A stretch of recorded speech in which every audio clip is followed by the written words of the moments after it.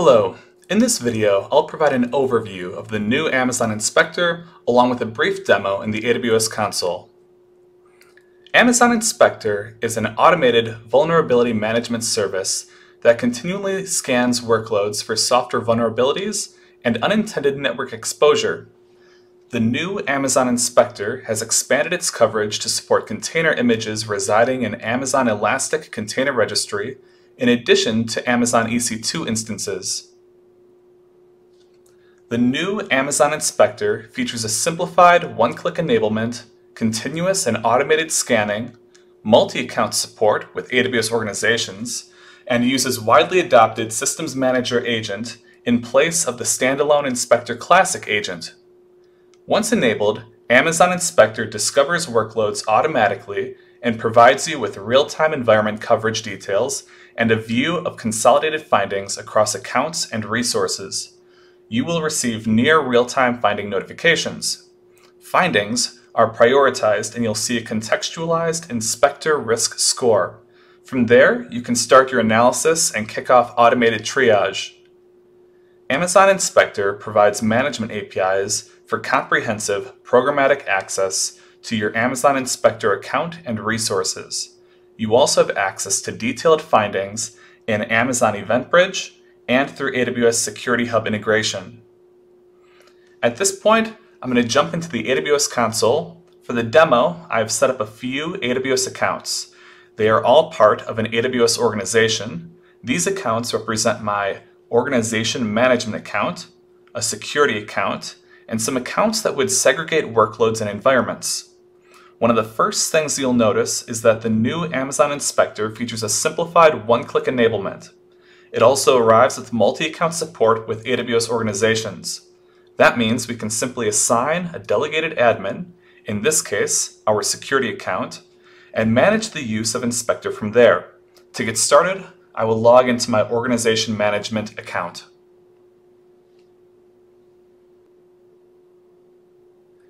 Here we are in the AWS console. I have logged into my organization management account. I'm starting here in order to set my security account as the delegated administrator of Inspector for my organization. Once I've set this up, we'll pivot to that security account for the rest of the demo. By entering the account number for my security account here, I'm granting roles required to manage Inspector for my organization. This will also enable Inspector in my new delegated admin account.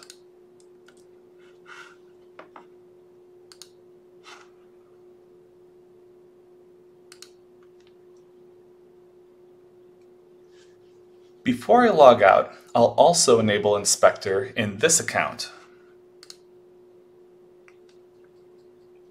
As you can see, it's very simple to get started, literally just a couple clicks. You may have to wait a minute before it redirects you to the new Inspector dashboard.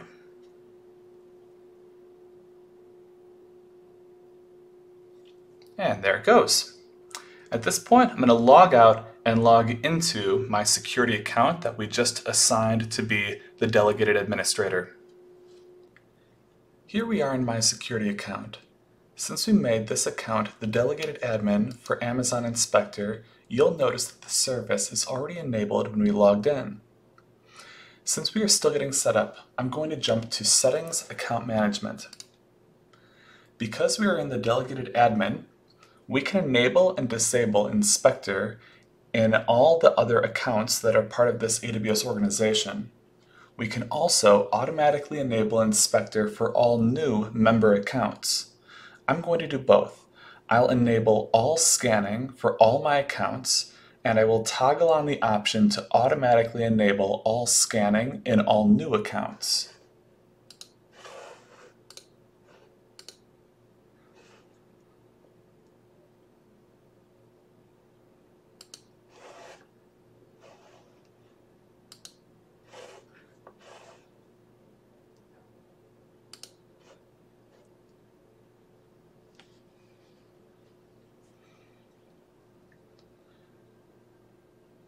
When you enable Amazon Inspector, it automatically discovers all of your Amazon EC2 and Amazon ECR resources. Amazon Inspector scans those resources, to detect vulnerabilities that pose risks to the security of your compute workloads. After the initial scan, Amazon Inspector continues to monitor your environment.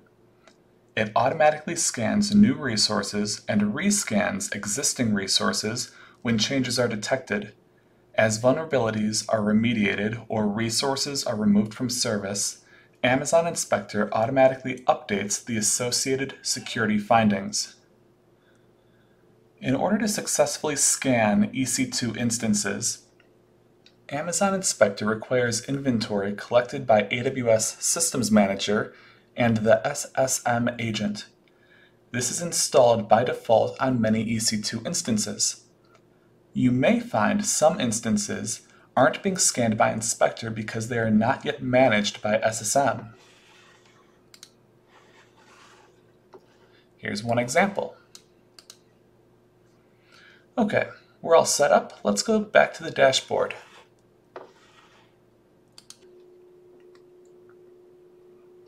Still keeping in mind that we are in the delegated admin, what we are looking at is a reflection of all the accounts we have enabled in. We can see our coverage, the number of different types of findings and critical findings, common findings, and accounts and other resources with the most critical findings. I would let your focus settle on risk-based remediations first. Using the contextualized inspector risk score, these are the five packages containing the most critical vulnerabilities affecting the most resources. I'll dive deep into how the inspector risk score is calculated in a couple minutes.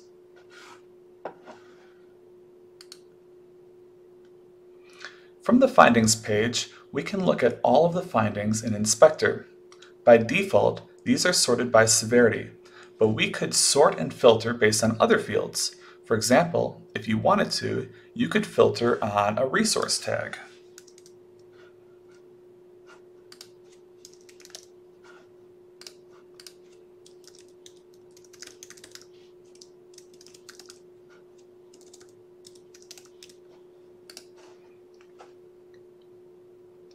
Alternatively, you could also filter on a resource ID.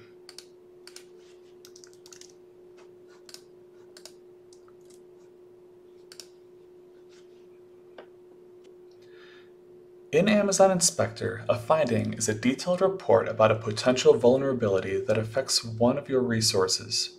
Amazon Inspector generates a finding whenever it detects a potential vulnerability for an Amazon EC2 instance or a potentially vulnerable container image within an Amazon ECR repository.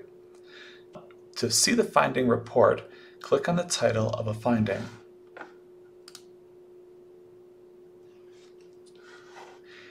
Each finding provides a description, severity rating, information about the affected resource, and additional details such as resource tags and how to remediate the reported vulnerability. Amazon Inspector stores your active findings until they are closed through remediation. Amazon Inspector displays closed findings for 30 days. Inspector calculates a highly contextualized inspector risk score for each finding by correlating common vulnerabilities and exposures, or CVE information, with findings such as network access and exploitability. This score can be used to prioritize the most critical vulnerabilities to improve remediation response efficiency. This score is also used to derive the severity of a finding. In addition to the inspector score, Inspector also displays the score provided by the vendor, such as Red Hat, as well as the score provided by the National Vulnerability Database, commonly known as NVD. Inspector displays both CVSS3 and CVSS2 scores from both the vendor and NVD wherever possible. Here you can see that Inspector's score has been adjusted because there is no path from the internet to this instance, if the same CVE was identified on an instance with network access from the internet, the score wouldn't have been adjusted. We can also click on By Vulnerability to see vulnerabilities listed by the number of critical findings. Again, we can filter and change how this list is sorted. Clicking to By Account, we can see the coverage and finding counts per account. Clicking to By Instance, we can see a list of instances sorted by the number of critical findings. Under By Container Image, we similarly see container images listed. From this screen, if you want to see the findings within a container image, you can click on the image. Here you see the list of findings for the overall container sorted by severity, or you can see the list of findings broken down by layer.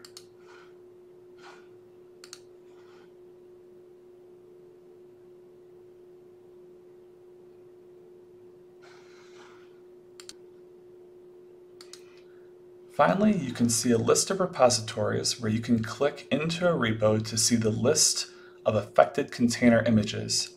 If you haven't enabled ECR container scanning, you won't see this. Lastly, we have suppression rules. Suppression rules give you the ability to hide Amazon Inspector findings that match specified criteria. For example, you can use suppression rules to hide low-value findings or vulnerabilities that you do not intend to remediate. Doing so can help you more easily recognize the vulnerabilities with the most impact to your environment. You can suppress findings based on severity, score, tags, and numerous other filters.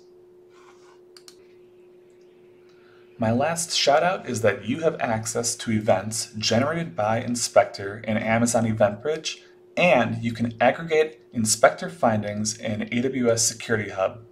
That's all for this demo. I hope you found this a valuable use of time. Visit the Amazon Inspector page for more information. Thank you for watching.